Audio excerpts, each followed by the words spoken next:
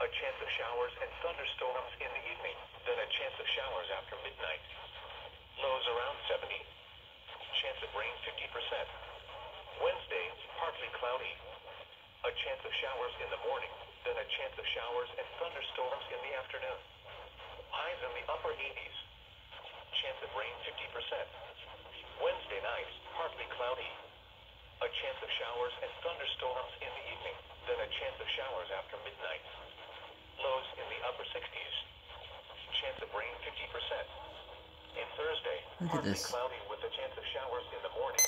Mostly cloudy Oh. with a chance of showers and thunderstorms in the afternoon.